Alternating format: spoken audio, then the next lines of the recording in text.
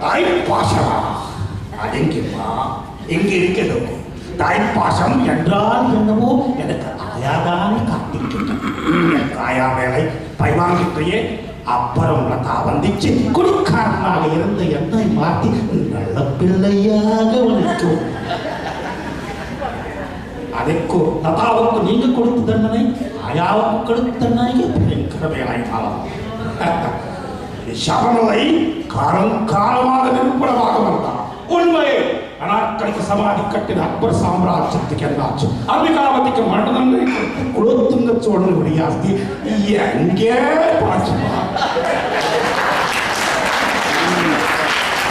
அந்த முடிவு எந்த செல்விக்கு வந்தவரை எத்தனை உயிரும் பலி வேண்டுமோ அத்தனை உயிரும் வாங்குங்கள் உன் வீடு வாசம் சொத்து சுகம் எது எனக்கு தேவை நான்